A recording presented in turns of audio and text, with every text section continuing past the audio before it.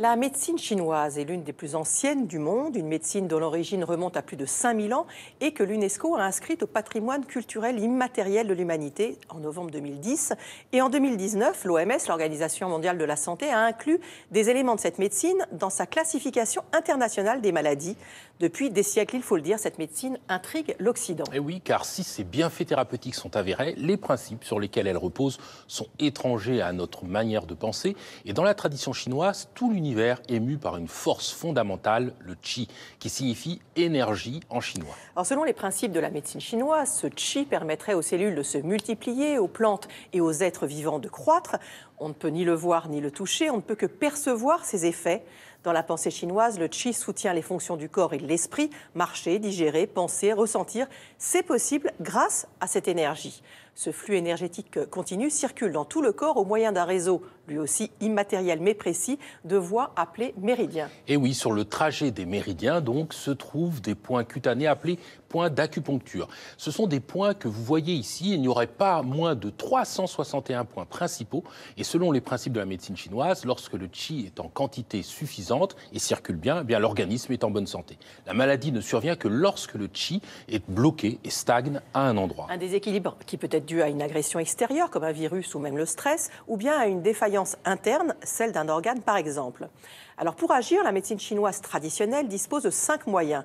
L'acupuncture, de plus en plus pratiquée en France, les exercices énergétiques comme le Qigong et le Tai Chi, la diététique, la pharmacopée et le massage. Et aujourd'hui, on va partir à la découverte de deux de ces techniques, le Qigong et la pharmacopée. Alors on commence par le Qigong, hein, une gymnastique douce et lente qui permet de se détendre et de retrouver un équilibre. Rim Benhammer, Aldo Cardulo et Pierre-Luc Perrin ont testé pour nous un cours.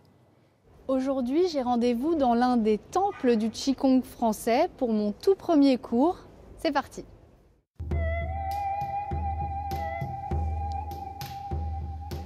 Maître Kewen enseigne le Qigong en France depuis 30 ans.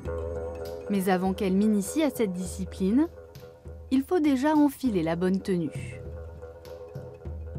Bonjour, c'est bien. Voilà, ça y est, je me suis changée. Ah, là, ça a changé. Ouais. Ça a changé. L'énergie, c'est ce qu'on a dit. On commençait le Qigong, mais l'énergie a déjà changé. Inspire. Grand. Embrasse le ciel. Et expire. Le cours commence avec l'une des leçons les plus importantes, le placement du corps. L'important, c'est cette verticalité. C'est juste le milieu. Tu ne peux pas à gauche, à droite, devant. Toujours l'homme dans ses verticalités, on communique avec l'infini. Au-delà des simples mouvements, le Qigong est aussi une philosophie qui utilise de nombreux symboles et métaphores poétiques. Inspire comme les ailes de l'oiseau, le bras. Et croisez devant. Baissez la tête entre les bras. Rapprochez les omoplates. Et inspire. Ouh, voilà. Toute l'agitation, toutes les émotions excessives et la fatigue. Évacue jusqu'au bout de toi, jusqu'au pied. Au-delà de l'aspect détente, quels sont les bienfaits santé du Qigong? Ah, c'est énorme. Ça fait partie des médecines chinoises. hein. Pourquoi? Parce que tout le mouvement respecte la théorie des médecines chinoises, les méridiens. Donc la grande théorie, c'est quand il a douleur, quand il a problème, et c'est parce que le chi est bloqué. Pour le débloquer, il faut le mouvement qui en suivant les méridiens ah, du corps. Le Qigong, que l'on peut traduire par le contrôle du souffle ou de l'énergie, est une science millénaire. Ça, c'est le dessin le plus connu. Ah, je pense que tous les pratiquants de Qigong connaissent l'origine de la pratique de Qigong. C'est un, rouleau en soie, en crème de soie, dans lequel il y a 44 postures de Qigong déjà. Ça s'est trouvé, ça, c'est le deuxième siècle avant Jésus-Christ, dans la dynastie de Han de l'Est. Donc, ça devient beaucoup les origines de toute la méthode dynamique de Qigong. Donc, ça, c'est très précieux.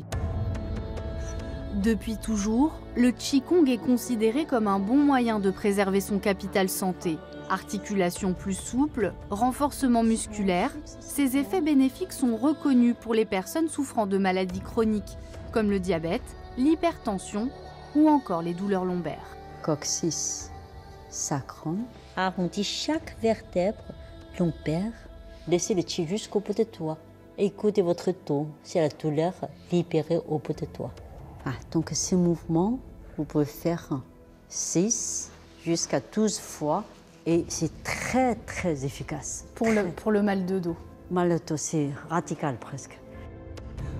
Pour un plus grand bien-être, le Qigong se pratique régulièrement.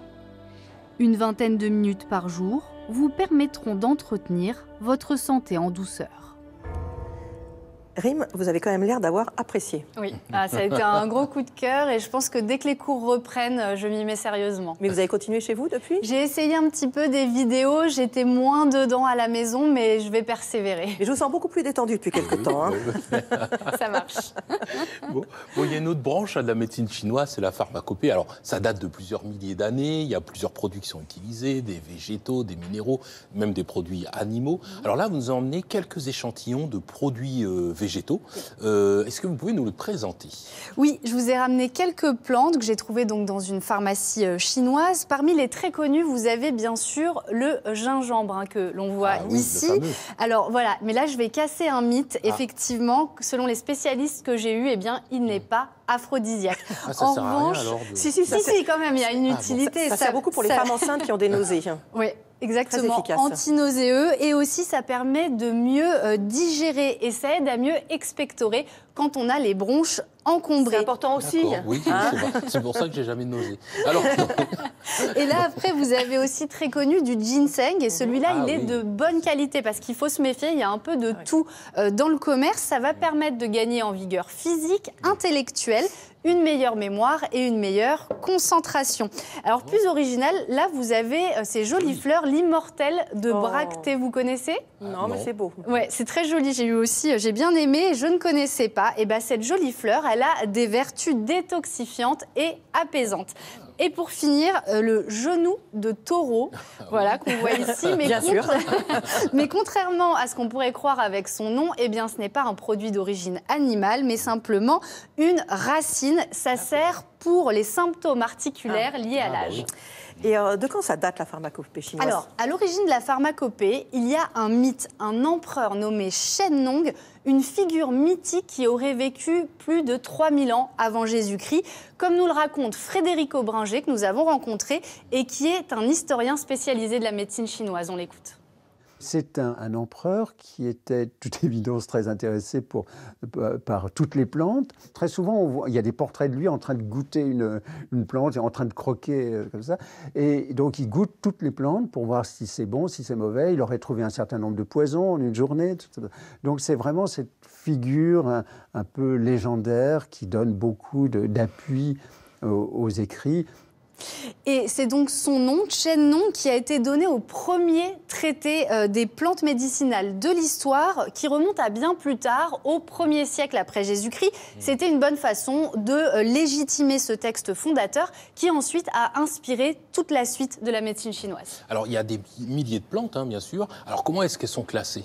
Oui, effectivement, chaque plante est classée d'une façon bien précise. Mmh. Tout d'abord, les plantes sont classées selon leur saveur la saveur douce, amère, acide, piquante, salée. Et ensuite, selon leur nature, froide, chaude, tiède ou fraîche. Et ce n'est pas fini, car ensuite, les plantes associées entre elles dans un même remède ont toute une propriété spécifique, un rôle défini et euh, hiérarchisé. Mhm. Vous allez voir, il y a aussi tout un vocabulaire bien spécifique. La plante principale, elle est appelée l'empereur. C'est elle qui répond aux principaux symptômes de la maladie. Euh, les ministres sont là pour l'aider. Les assistants Ensuite, on pourrait faire de contrer les effets toxiques de l'empereur. Et enfin, les ambassadeurs ont pour fonction de diriger le remède vers la zone du corps affectée. C'est donc un système très complexe. Très élaboré, effectivement.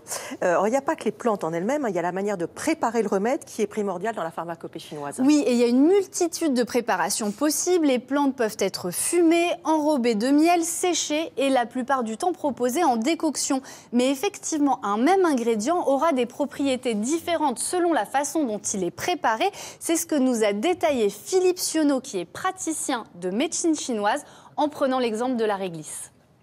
Si vous l'utilisez comme ça, relativement brut, alors en petit copeaux, hein, pour faire une, décoction, eh bien, va plutôt être une substance médicinale qui vise à clarifier, on va dire, traiter les inflammations de la gorge, pour faire simple. Alors que si vous lui faites préparer, le, vous le faites préparer avec du miel, vous le faites griller avec un petit peu de miel, d'une certaine façon, à ce moment-là, il n'a plus cet effet anti-inflammatoire au niveau de la gorge, mais on a des vertus, par exemple, anti-inflammatoires au niveau intestinal. C'est l'antispasmodique. Ouais, donc ce sont des plantes, euh, c'est naturel, mais enfin, il faut quand même être vigilant. Hein. Oui, mmh. euh, la médecine chinoise n'est absolument pas à utiliser tout seul chez soi, à part mmh. voilà, les choses un petit peu simples comme ça. Mmh. Mais car pour un vrai remède, ce sont souvent des dizaines d'ingrédients qui sont mélangés ensemble et il y a une posologie spécifique.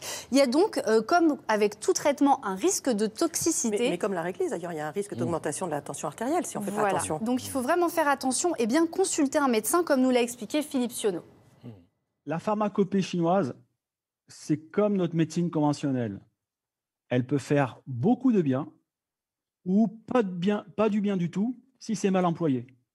Et ça demande vraiment une vraie connaissance de cet art pour aider un patient qui souffre au lieu de lui engendrer des effets secondaires.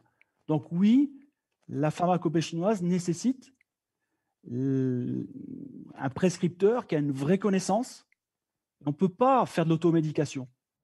Alors bien entendu, la pharmacopée chinoise ne se substitue pas à la médecine conventionnelle, mais elles peuvent être utilisées ensemble, en complément, avec de très bons résultats. Et cette médecine chinoise traditionnelle est en plein essor, hein, il faut le dire, en Occident. Et ce marché devrait connaître une croissance à deux chiffres dans les années à venir. Merci beaucoup, Rim, c'était passionnant. Merci beaucoup.